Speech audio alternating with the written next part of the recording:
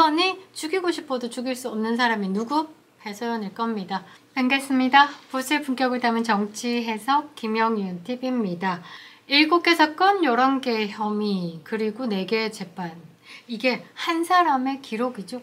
몇 개가 더 보태질 가능성이 있습니다. 이재명 더불어민주당 대표와 관련된 여러 미스테리 중에 그의 재산과 변호사비 문제는 오랜 시간 동안 논란의 중심에 서 있었습니다. 쌍방울 대북 송금 외에 쌍방울 변호사비 대납 의혹이 있죠. 그런데 얼마 전 검사 탄핵 청문회를 열어서는요. 어, 수감 중인 이화영을 불러내렸죠. 그때 그 청문회장에서 이화영과 변호사 간의 대화가 녹취된 녹취록이 틀어졌습니다. 그 내용 중에 어, 재판부를 돈으로 매수한 정황이 있다라는 식으로 그게 어, 노출될까봐 그게 알려질까봐 두렵다라는 이화영의 녹취가 틀어져서 또 논란이 되기도 했는데요. 그래서 그동안에 그 가지고 있던 의혹의 하나가 더 보태지기도 했습니다. 어, 이재명이 여러 재판을 받고 있죠. 각각 다양하게. 그런데 변호사로 수임한 여러 변호사에게 어, 분명히 천문학적인 금액을 지불해야 했음에도 불구하고 재산은 눈에 띄는 변동이 없습니다. 22대 국회의원 선거에서 금배지로 변호사비와 퉁쳤다라는 말이 있는데 지금 현재 같은 상황에는 정관예우 변호사를 또 들여가지고 신진우 재판관을 피해 보려고 했고 어, 지금 상황에서는 진짜 수억에 가까운 변호사비가 들 텐데 재산에는 변동이 거의 없습니다. 이런 배경 속에 배소연의 재산 문제도 다시 수면 위로 떠오르고 있는데요. 16일에 국회 기획재정위원회가 국세청을 대상으로 실시한 국정감사에서 국세청 강민수 청장이 나와서 어, 이 이재명에 관련된 의혹에 대해서 한마디 했습니다. 유사한 케이스들을 분석하고 과세, 실익에 따라 검증할 것이다 답변을 했고요. 어, 이것은 배소연의 재산 형성 과정에 대한 철저한 조사가 이루어질 것을 암시하는 것이기도 합니다. 또 배소연의 재산이 이재명 더불어민주당 대표의 차명 재산이 아닌가라는 가능성에 대해서 제기가 되고 있죠. 향후 검찰 및 국세청 조사 결과가 중요한 변수로 작용될 전망이기도 합니다. 영상 시작하겠습니다. 끝까지 시청 부탁드리겠습니다. 배소연 정말 말 많고 탈 많은 사람인 것 같은데요. 이 사람도 김혜경 못지 않은 멘탈을 가지고 있다라고 생각을 합니다.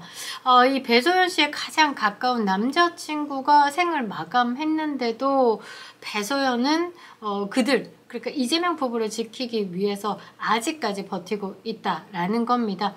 이 배소연은요. 이재명 대표가 성남시장과 경기도지사로 있을 때부터 그를 가까이 보좌해온 사람입니다. 그녀의 재산 증식 과정에 대해서는 정말 의문을 많이 낳고 있죠. 상속이나 사업을 통해서 얻은 자산도 없는데도 불구하고 수십억대 어, 부동산을 소유하고 있기 때문에 문제가 되고 있는 것 같습니다. 이에 어, 국민의힘 박수영 의원은요 국정감사에서 이 배소연의 자산 형성 과정을 조사해야 한다라고 주장을 했습니다.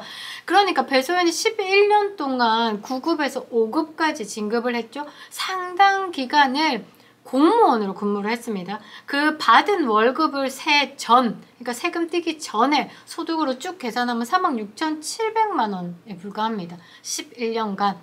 이거는 3억 6,700만 원은 세 전에 금액이고 안 먹고 안 쓰고 받은 거 그대로 모았을 때의 돈이죠. 그런데 뭐 생활비도 필요할 거고 쓰고 먹고 뭐 통신비도 내고 해야 되지 않겠습니까? 그런데 이런 월급만으로는 도저히 설명이 안 되는 현재 시가 80억에 달하는 4건의 부동산을 보유하고 있습니다. 대출 없이 부동산을 매입한 정황 때문에 자금 출처가 필수적이다라는 말이죠. 화면에 한번 띄워드릴 건데요. 배소연이 2000년에 서울 정릉에 아파트를 구입합니다. 매입가가 얼마인지 확인은 불가한데요. 현재 시가로는 8억 2,500만 원 한다라고 합니다. 어, 그리고 2010년에 어, 서울의 잠실의 아파트를 구입합니다. 구입할 때 9억 5천만 원인데요. 어, 지금의 현재 시가가 28억 조금입니다. 그리고 3년 뒤 수원 광교 D상가 주택을 매입하고 리모델링을 거쳐가면서 어, 지금 35억 상당의 어, 재산이 형성되어 있고요. 2015년에는요, 성남 붕당의 아파트를 어, 구입합니다. 3억 6천만 원에 현재는 한 두 배 정도 뛴 7억 4천 5백만 원에 거래된다라고 하는데 어, 이, 이 매입한 금액 25억에 뭐 확인 불가한 2000년대 구입했던 서울 정릉 아파트 뭐 알파 한 5, 6억만 하더라도 30억 가까이 되는 돈이 어디서 났냐라는 거죠. 그리고 거의 다 대출 끼지 않고 현금으로 구입을 합니다. 그런데 현재 시가는 79억 2천만 원 정도 이제 거래가로 지금 보고 있는 건데 상당하지 않습니까? 아, 정말 대단한 것 같은데 첫 번째 부동산을 구입할 때 이 배소연은 계약직 신분이었는데 이렇게 큰 금액의 아파트를 샀다라는 것이고 두 번째 때도 어, 계약직으로 근무를 할 때 샀다라는 겁니다. 첫 구입한 부동산 때 그때 뭐 상황을 봐도 도저히 구입이 불가능한 상황이 아닐까. 왜냐면 뭐 제, 부모에게 상속을 받은 것도 아니고 그러니까 대출 없이 부동산에 매입했다라는 이 정황 때문에 자금 출처 조사가 필수적일 수밖에 없는 것이죠. 이재명 대표 차명 재산이다라는 의혹과 관련해서는 배소연의 부동산이 이재명 대표의 재산일 가능성도 제기가 되고 있는 겁니다.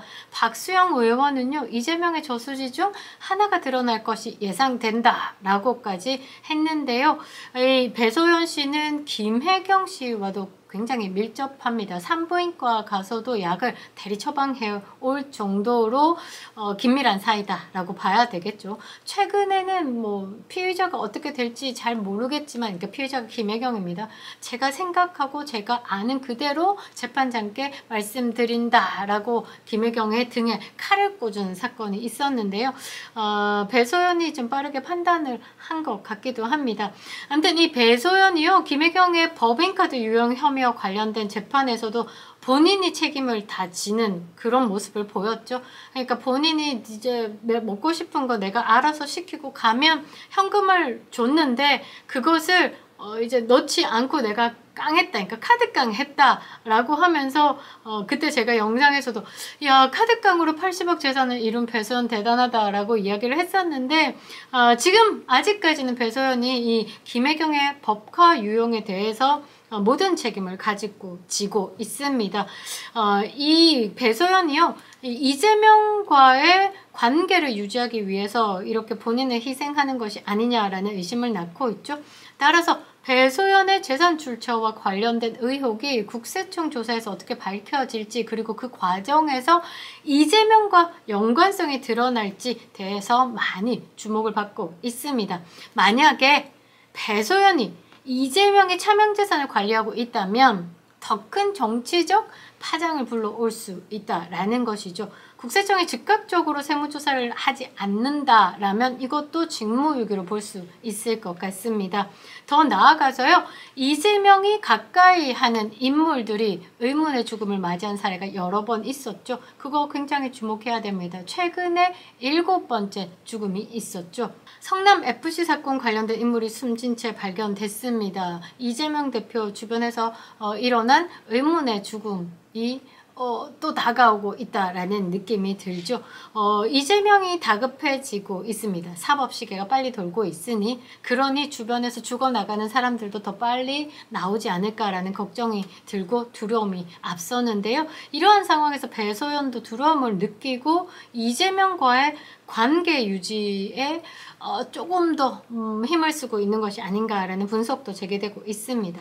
이제 배소연이 끝까지 이재명과 김혜경을 지지할 것인가 아니면 재판 과정에서 입장을 번복해서 어, 나는 살아야 되겠다. 라고 할지 관심이 집중되고 있는데요.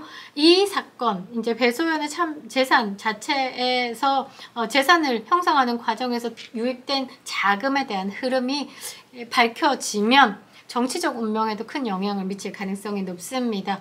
아, 배소연의 재산 문제와 관련된 의혹이 어떻게 해결될지 그리고 이재명 대표의 정치적 입지가 앞으로 어떻게 변할지 국민들의 관심사로 남을 예정인데요. 한 달 조금 남지 않았죠. 11월 15일 1심 첫 선고가 나오고요. 그 전날 11월 14일도 김혜경의 1심 선고가 떨어질 예정입니다. 제가 생각할 때는요. 배소연은 안 죽습니다. 배소연이 죽으면요. 배소연이 가지고 있는 이 재산은 찾을 수 없습니다. 그들의 가족에게 가는 거겠죠. 그러니 죽이고 싶어도 죽일 수 없는 사람이 누구? 배소연일 겁니다. 앞으로 정치판에서 이재명이 어떻게 변할지 그리고 대한민국 사법부가 어떻게 변할지 지켜보도록 하겠습니다. 김영인 TV였습니다.